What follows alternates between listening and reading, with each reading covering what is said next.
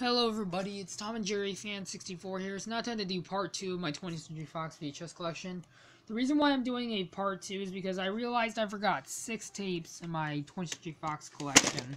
So let's get to it.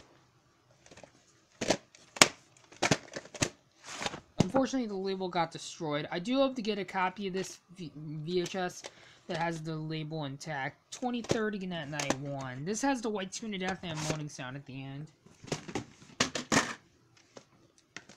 And I also got Home Alone 2 Lost in New York. Screen Death printing, so we all know what it has at the end. The 20th, again at night 3. I also got Home Alone 3. The 18th, again 1998.